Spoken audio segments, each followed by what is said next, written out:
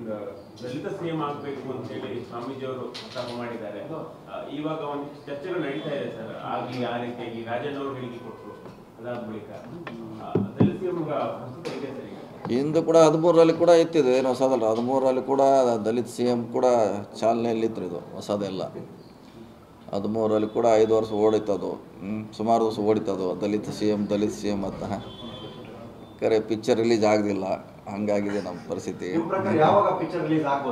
ನೋಡಿ ಕಾದ್ ಕಾದು ನೋಡ್ಬೇಕಷ್ಟೇ ಈಗ. ಹ್ಞೂ ಕಾದು ನೋಡ್ಬೇಕೀಗ ದಲಿತ ಸಿ ಎಮ್ಮು ಇಂದು ಕೂಡ ಕರ್ಗೇಜಿ ಇದ್ದಾಗ ಕೂಡ ಎರಡು ಸಾವಿರದ ಎಂಟು ಇದ್ದಾಗ ಕೂಡ ಅವರು ಸಿ ಎಂ ಆಗಬೇಕಾಯಿತು, ಅವ್ರಿಗೆ ಅವಕಾಶ ಸಿಗಲಿಲ್ಲ ಪರಮೇಶ್ವರ್ ಎಂಟು ವರ್ಷ ಅಧ್ಯಕ್ಷ ಆದರೂ ಕೂಡ ಡಿ ಸಿ ಎಂ ಆರ್ ಕೂಡ ಅವಕಾಶ ಸಿಕ್ಕಿಲ್ಲ.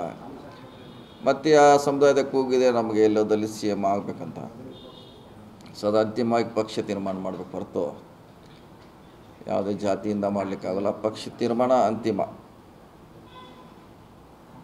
ಸರ್ ಏನಾದ್ರೂ ಆ ಕೂಗು ಅಥವಾ ನೀವು ಹೇಳಿದ ರೀತಿಯಲ್ಲಿ ಆ ಪಿಕ್ಚರ್ ರಿಲೀಸ್. ಈ ಸರ್ಕಾರದ ಎರಡೂವರೆ ವರ್ಷ ಆದ್ಮೇಲೆ ಆಗೋ ಸಾಧ್ಯತೆ ಇದೆಯಾ?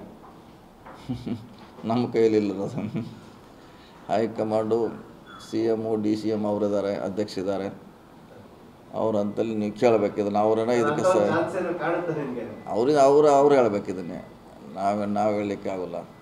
ಅವರು ಅಧ್ಯಕ್ಷ ಇದ್ದಾರೆ ಸಿ ಎಂ ಇದ್ದಾರೆ ಹೈಕಮಾಂಡ್ ಇದೆ. ಅವ್ರ ಅದ್ರ ಬಗ್ಗೆ ಸ್ಪಷ್ಟೀಕರಣ ಕೊಡಬೇಕಾಯ್ತು. ಕಾದು ನೋಡೋಣ.